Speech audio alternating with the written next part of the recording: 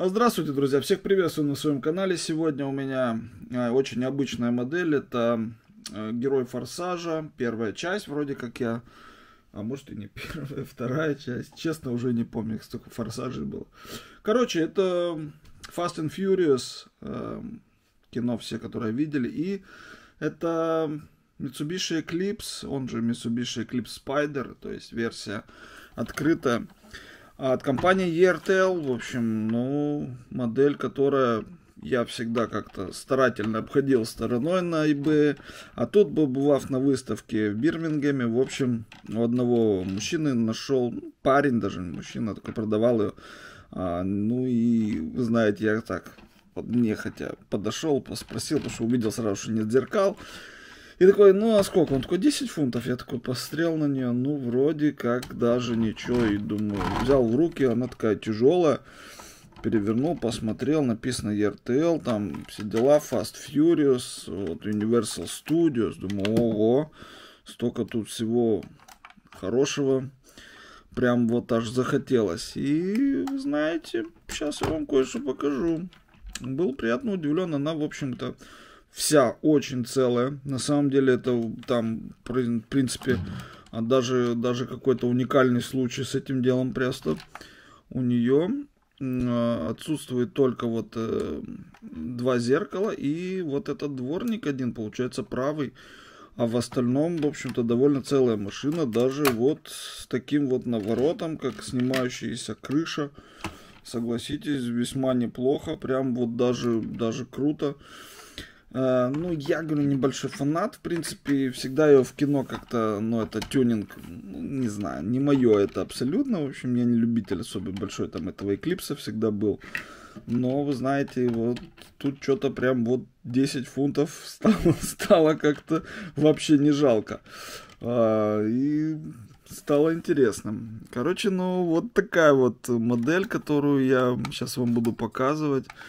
Да, она довольно там простая, но опять же, я так понимаю, что сделана она была прям вот в начале там 2000-х годов, когда там второй фильм, по-моему, из них вышел. Ну да, это вроде как во втором эта модель была. И довольно ей уже лет так прилично. Я так прикидываю, что чуть, чуть больше, наверное, 15, что ли, где-то в этом районе. Так что, ну, хром, колеса, прям вот такое все изумительно сделано. Хорошая, кстати, покраска. Тут я даже ничего не скажу. Она довольно все очень-очень так на уровне сделано. Ну и тяжелая. Вот металла здесь конкретно много чувствуется. Чувствуется. Так что, ну вот такой тюнинг начала 2000-х годов, конечно, очень весело. Весело сейчас наблюдать.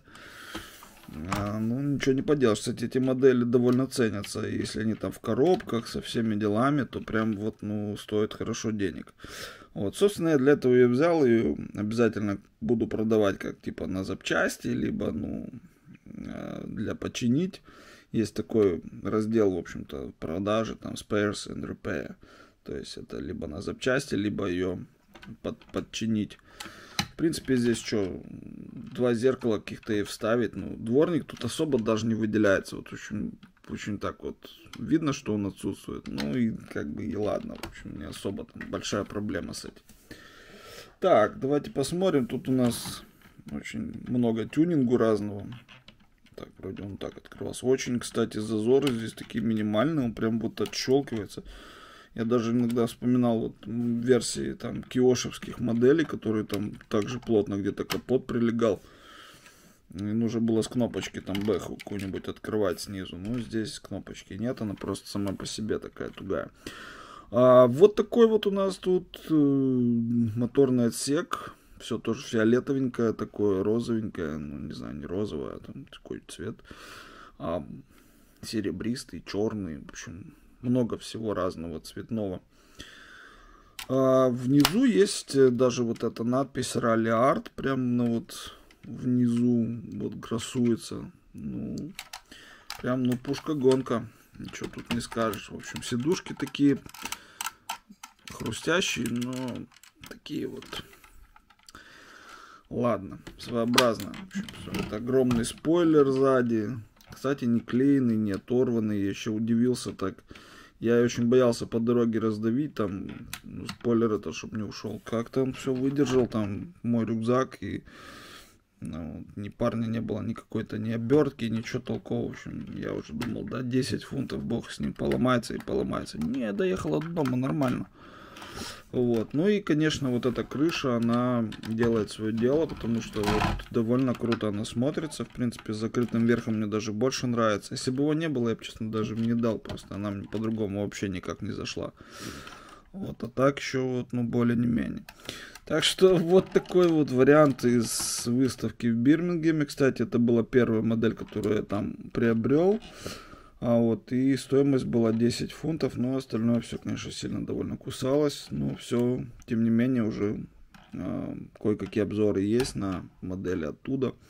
И я еще несколько сделаю, потому что, потому что есть, есть еще что показать. Вот, друзья, такой вот вариант э, за десяточку. В принципе, согласитесь, вообще не позорный. То есть взять можно. Но, правда, непонятно для чего. В общем, мне как э, на перепродажу я себе точно, точно сделаю э, на этой модели. Потому что явно тут любителей такого добра очень много. И, и стоит оно, в общем, денег больше, чем 10 фунтов явно. Не знаю, сам будет, наверное, на eBay выставлено, а там посмотрим, за сколько уйдет.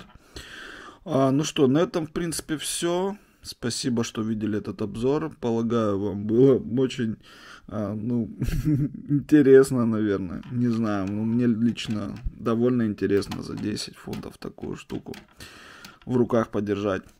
Вот. Ну и вам, кто любит, кстати, форсажи, собирает подобные модели, они, кстати, сейчас очень сильно растут в цене. Вот что, что я начал замечать, именно вот эти модели конкретно пошли в гору. Если хорошая сохран, коробка, то данная модель будет стоить денег. На этом все. Спасибо, что посмотрели этот обзор. Прощаюсь с вами только до следующего. Всем желаю удачи, будьте здоровы. Пока.